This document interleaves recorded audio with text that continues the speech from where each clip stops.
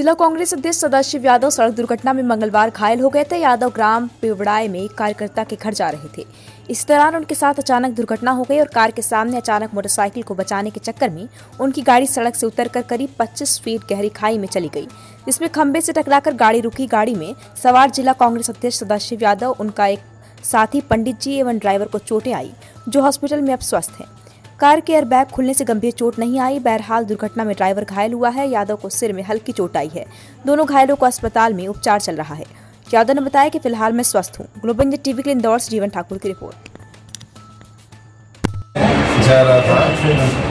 ये बिगड़ाई के पहले करीब एक किलोमीटर डेढ़ किलोमीटर पहले कालीछाट एरिया आता है। वहाँ मोड़ टर्न टर्न है। उसमें नीचे करीब करीब जो नाला है 20 से 25 फीट नीचे है, उसमें जिस तरीके कोई टू व्हीलर वाले उधर से आए थे, वो झूम के जो चल रहे थे तो उनसे कहीं ना कहीं अनबैलेंसिंग ड्राइवर का कहीं घबराना हुआ और वो सीधा स्टेट करीब करीब बीस पच्चीस फीट जो खाई है, उसमें मेरी गाड़ी उसमें गई और वहाँ पर काफ़ी उबड़ खाबड़ था बड़े बड़े पत्थर थे।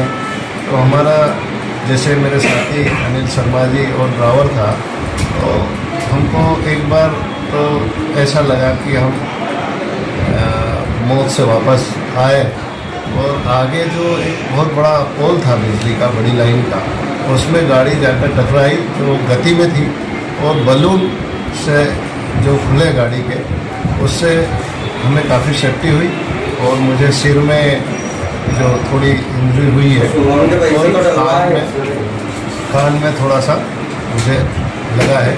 बाकी हम मैं स्वस्थ हूँ और सब मेरे बड़े नेता आदरणीय कमलनाथ जी आदरणीय दिग्विजय सिंह जी सभी ने मुझे स्वास्थ्य का हालचाल जाना। मैं उन्हें भी बहुत बहुत धन्यवाद देता हूँ सभी लीडरों को और पूरी मेरे जो जितने शुभचिंतक हैं उनका बहुत बहुत आभार। उनकी दुआओं के साथ जो मुझे दुआएँ लगी और मैं अब स्वस्थ हूँ।